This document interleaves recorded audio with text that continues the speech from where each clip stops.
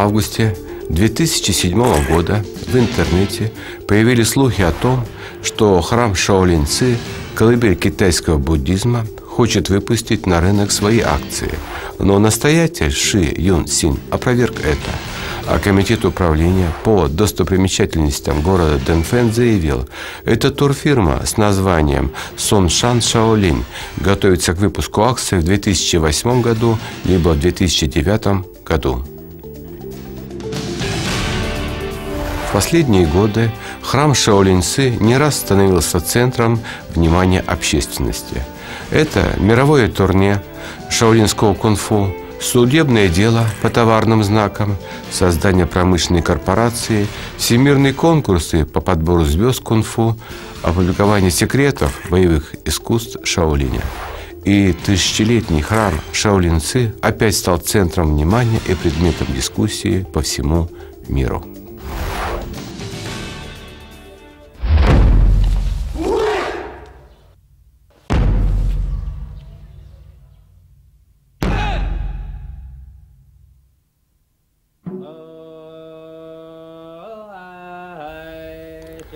Ши Юн Син, настоятель храма Шаолинцы, всегда оставался центральной фигурой общества.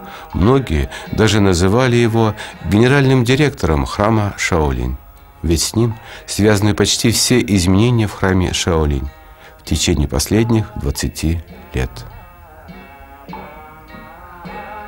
Однако большинство людей уверено в том, что именно им восстановлена жизнеспособность храма Шаолинцы, и о кунг-фу узнали в мире.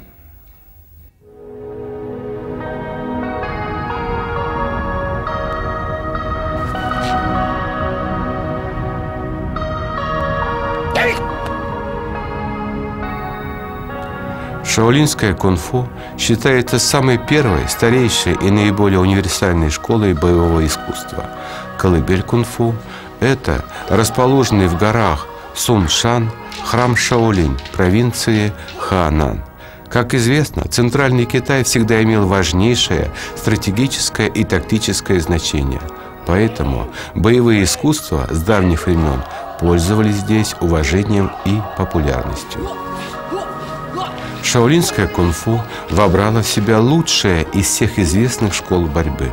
Отличается жесткостью и мягкостью, скоростью и медлительностью, подвижностью и устойчивостью.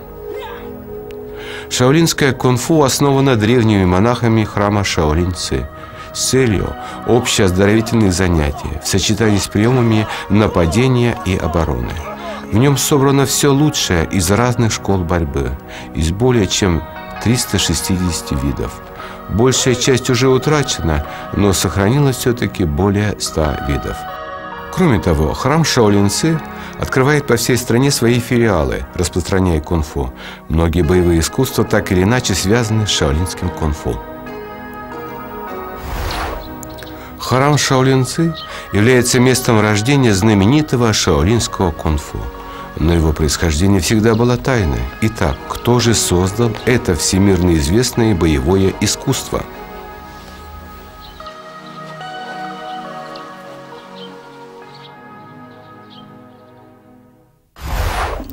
В 19 год династии Бэйвэй Тайхэ или в 495 году нашей эры один монах, буддист по имени Ба Тхоу пришел из Индии в Китай – Ему понравилась скрытная жизнь в этом тихом месте. Тогда император Сяо Вэн, исповедующий буддизм, приказал построить для монаха храм, получивший название Шаолин Сы.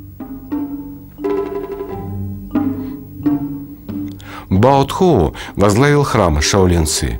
Монахи из разных мест стали приходить сюда. В то время Шаолинцы главным образом переводил буддийские книги для императора и его окружения. Не занимался боевыми искусствами. Сам Батхоу не владел кунг-фу и не являлся его основателем. В 527 году нашей эры другой индийский высший монах Боткит Харма пришел в храм Шаолинцы проповедовать буддизм. Девять лет он молился, сидя лицом к стене. Сегодня Бодхидхарму считают основателем китайского буддизма. И в то же время многие ученые полагают, что именно Бодхидхарма и был основателем шаолинского кунг-фу.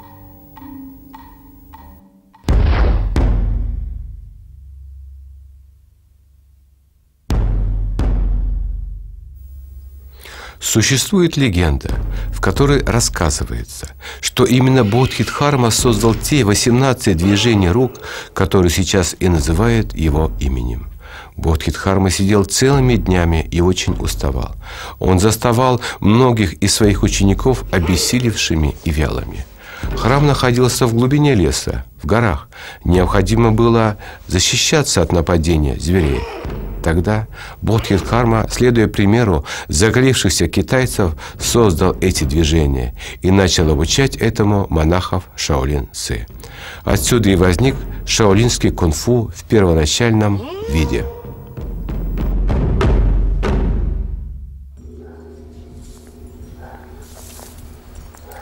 В свободное время Бодхидхарма также занимался упражнениями с палкой, мечом и лопатой.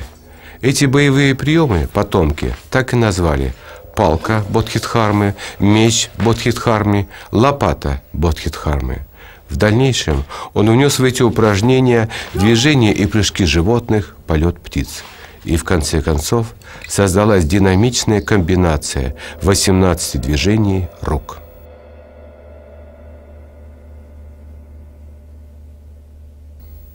Но многие историки считают, что Бодхидхарма не является основателем шаолинского кунг-фу, поскольку в исторических источниках не найдена запись, которая говорила бы о том, что именно Бодхидхарма создал шаолинский кунг-фу. 少林寺的拳术是不是达摩创的？这一直是一个有争议的问题啊。呃，我们目前没有明确的记载，关于达摩在那里创编了 若干权术的记载，它的时间都很晚，可信度比较低。但是我们现在能看到有明确的记载，在达摩的时代里，少林寺已经有武了。筹禅师是会脚力的，会摔跤的，他也练习各种纵跃、跳跃动作，还有其他人也有习武活动。所以我们相信，在达摩的那个时代里，少林寺里已经有武艺。啊，至于武艺是什么形式？到底是什么一个状态？我们还需要继续去研究它。那么少林寺的武艺到底是不是达摩传的？我们也还要继续去研究它。我们既不做否定之说，也不把它加以肯定。Отсюда следует, что во времена династии Северный Вэй в храме Шаолинцы монахи занимались кунг-фу. Но Дхарма не был их учителем, ведь до него они уже имели некоторую практику боевых искусств. Люди со своим опытом прошлого приходили и приносили в храм Шаолинцы искусство боя. Возможно, обмен боевым опытом среди монахов во время перерыва между молитвами сформировал в зачаточном виде шаолинский кунг-фу. Начиная с образования храма Шаолинцы до последних лет правления династии Суй, в течение более ста лет шаолинские боевые искусства развивались лишь в храме. Они представляли собой лишь один из видов отдыха монахов и не привлекали к себе внимания внешнего мира – конце династии Суй и в начале династии Тхан в истории храма Шаолинцы произошло невероятное событие. Это известная история о том, как 13 монахов, вооруженные только палками, спасли императора династии Тхан. Именно это событие и вызывает у историков горячие споры. Большинство специалистов считает ее реальной, но некоторые специалисты считают, что это просто легенда. Сторонники реальности событий утверждают, что доказательства спасения жизни императора династии Тхан Ли Шиминя находятся на территории храма. Это росписи в северо-восточном углу храма. Одна из росписей 13 монахов арестовывает Ван Жен Цзео, показывает, как шаолинские монахи вместе с императором плечом к плечу сражаются в бою. По легенде императора Ли Ши Мин первый раз приехал в город Ло Ян, где потерпел поражение и попал в плен. 13 шаолинских монахов, благодаря своим превосходным боевым навыкам, освободили Ли Шимина из тюрьмы. Специалисты же, считающие данную историю выдумкой, выдвигают вопрос, были ли способны шаолинские монахи спасти императора династии Тхан. Действительно, в эпоху династии Суй настоятель Шаолинцы в целях защиты храма начал отбирать среди монахов сильных, умных, мужественных и способных к борьбе людей. И главной задачей была защита храма, поэтому их и называли вооруженные монахи. По всей вероятности, именно тогда в храме Шаолинцы появился первый вооруженный отряд. Оппоненты отмечают следующее. Эти росписи созданы не во времена династии Суй. Они появились лишь в конце династии Чин. Вероятно, это лишь основанное на легенде художественное творчество, а не реальный факт того, что 13 монахов спасли императора.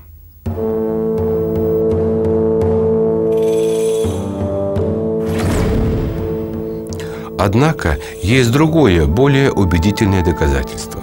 В храме Шаолинцы на памятнике Юйбэй императора Тхай Цунвена записан императорский указ. В нем император высоко оценивает боевые заслуги 13 монахов Шаолинцы. Он дарует храму Шаолинцы 40 цин пашных земель, водяную мельницу, а также назначает монаха Тхан Цуна генералом. На каменном памятнике записаны имена всех монахов – Тхан Цун, Хой Чан, Джи Цао и другие – Получается, что между императором династии Тхан и шаолинскими монахами действительно была какая-то реальная история. Но по поводу факта спасения императора на памятнике нет ни слова. В чем же дело?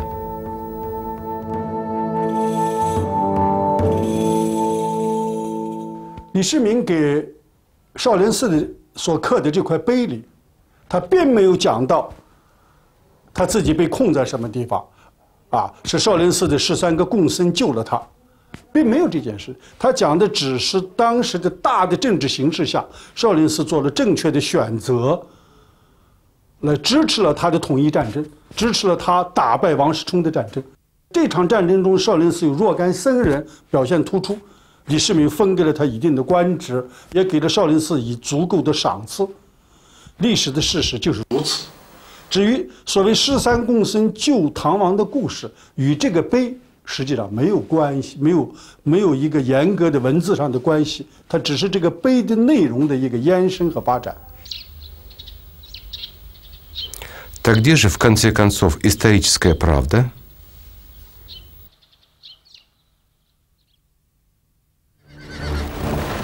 Период от поздней династии Суй до ранней династии Тхан местные лидеры стали объявлять свою независимость.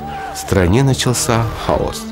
Сын Ли Шиминя возглавил военный поход на восток с целью уничтожения Ван Ши Чхуна, который назвал себя императором Джен. В то время оккупирующий провинцию Хаабэй лидер Доу Тен Део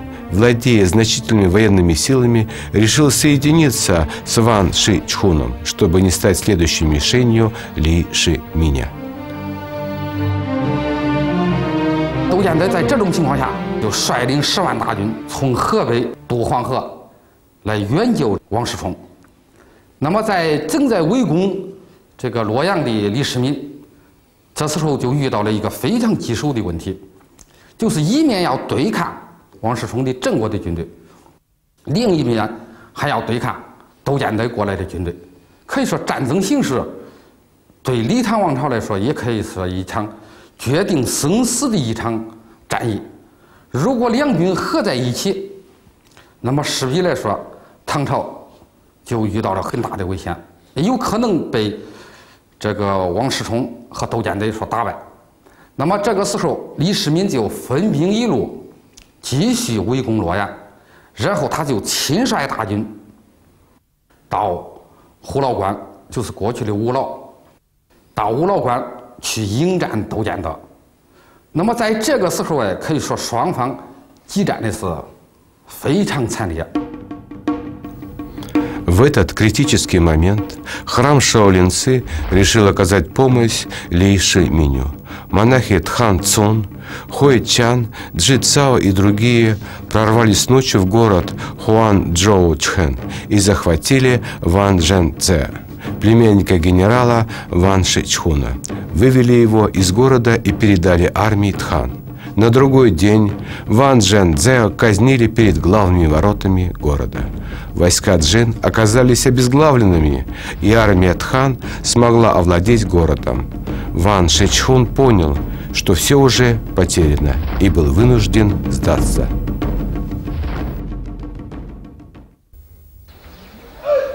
По-видимому, реальной истории о спасении 13 монахами императора Тхан не было.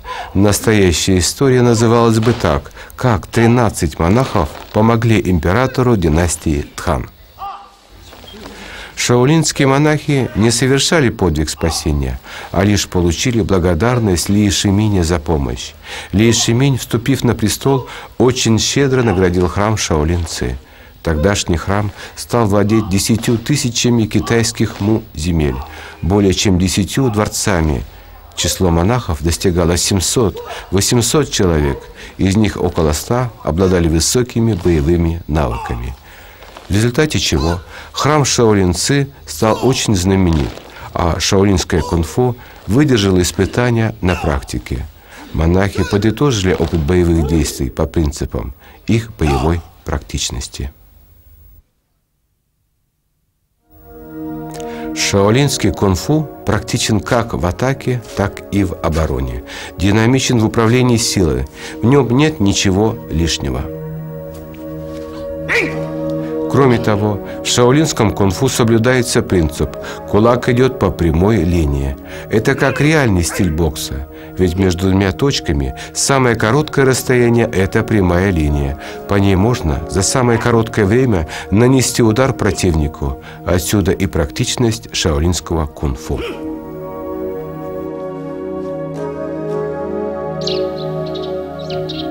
Итак, храм Шаолинцы получил значительное расширение и огромное богатство.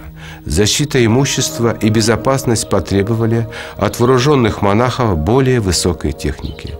Занятия кунг-фу стали составной частью их повседневной жизни.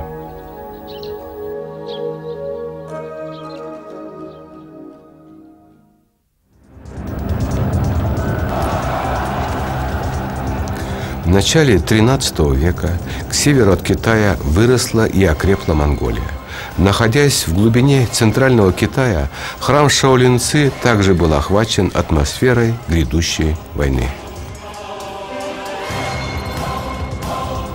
Монгольский хан, будучи непобедимым, приблизился с войсками к городу Бьенлян, сегодняшнему городу Кхайфон, провинции Хаанан – Расположенный в 130 километрах от Кайфона, храм Шаолинцы был в очень опасном положении, поскольку побеждающая всех монгольская армия грозила массовым уничтожением людей. Если город сопротивлялся, армия убивала всех жителей до последнего. Историки считают эту войну одной из самых жестоких в истории Китая.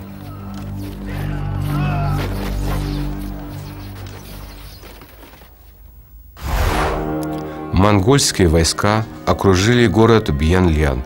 На карту была поставлена жизнь двух миллионов его жителей. В этот критический момент перед массовым кровопролитием монахи не спрятались. Во главе с настоятелем они пошли к монгольским войскам, но не на битву, а чтобы попытаться с помощью учения о буддийском сострадании уговорить солдат не убивать невинных жителей.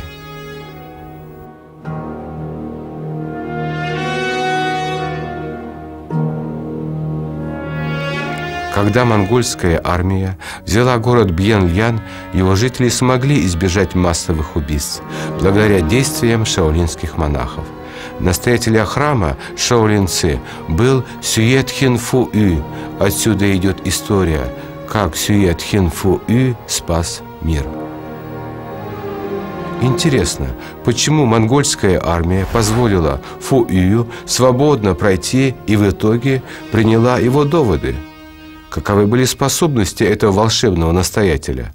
Почему монголы к нему отнеслись особо? А ведь эта необычная история является реальностью.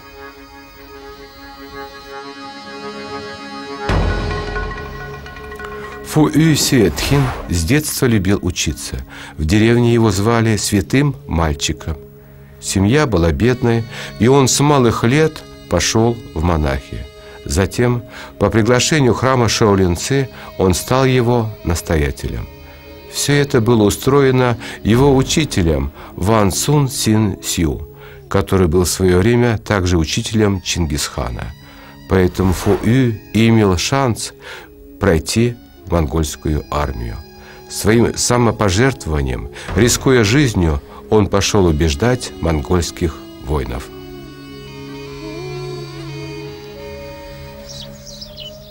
первый год после вступления на престол, то есть в 1260 году, в ханском императорском дворце настоятель храма Шаолинцы Фу Ю вел беседу о буддизме с даосистом Ли Джи Чханом.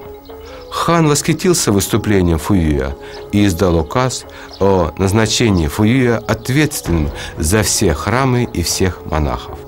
Храмы, находящиеся на территории провинции Ханань, передавались храму Шаолин-Сы. К сожалению, сам Фуи не владел боевыми искусствами. Ответственность за развитие шаолинского кунг-фу легла на плечи рядового монаха по имени Тюэ Юан. Тюэ Юан Шанжен до храма Шаолинцы уже владел искусством нападения, обороны и фехтования. В храме он овладел навыком 18 рук лохань. Упражняясь днями и ночами, он повышал свое мастерство. К нему стали приезжать учиться. Но Тюе Юань, осознав, что он еще не владеет эффективными навыками, ушел из храма в поисках новых учителей. 觉远上人的贡献啊，就应该是感觉到 少林拳的不足，啊，就是少林拳很厉害了，是吧？但是他发现了，这不是顶峰，所以他出去了，到处去去访，访呢，他终究碰着了两个人，啊，一个姓李的，啊，一个老头一个呢叫白玉峰，他们呢也发现了少林拳的不足。后来这两个人也都出家了，脚远上人这儿开始又上了一个台阶，这个台阶应该说就是内功这部分补上去了。Тюэ Юан вместе Пай Ю Фоном и Ли Соу, мастерами народных боевых искусств, усовершенствовали шаолинский кунг-фу превратили 18 рук Лохань в 18 частей. Это 324 движения. Они также впервые систематизировали комплекс шаолинского кунг-фу, дав характеристику каждому приему. Ими была написана книга «Собрание основных пяти видов в кунг-фу», которых подчеркивается, что целью занятий кунг-фу является не только повышение мастерства, но и повышение духа. Дракон, тигр, леопард, змей и аист – это пять основных видов шаолинского кунг-фу. За последующие 800 лет они совершенствовались, обменивались опытом у различных школ и приобретали их положительные качества. Созданы десятки видов биоимитирующей борьбы.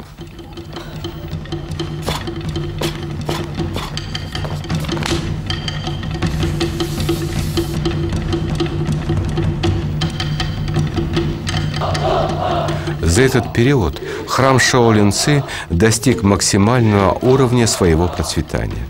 Лишь на территории провинции Хаанань храм Шаолинцы с филиалами занимал площадь 50 тысяч китайских му, а число монахов составляло 40-50 тысяч человек. Кроме того, были построены пять новых филиалов Шаолинцы. Это Хаолин, Янти, Чхан-Ан, Тхайюан, Лоуян.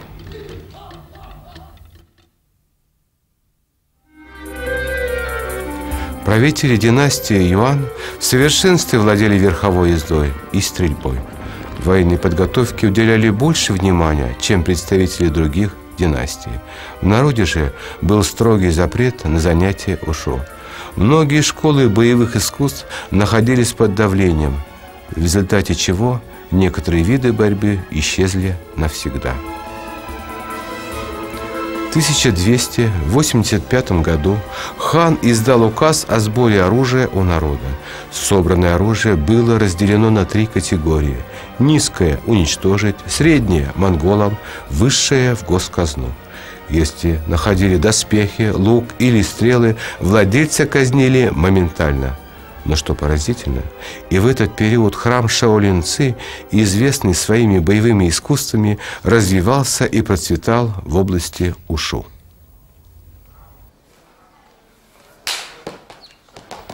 Выяснилось, у храма имелись особые права.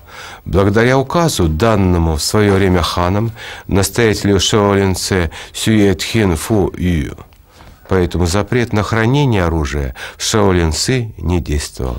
Храм стал единственным местом для встреч мастеров ушу, где люди могли открыто обмениваться опытом боевых искусств. Став же монахами, они передавали свои знания храму.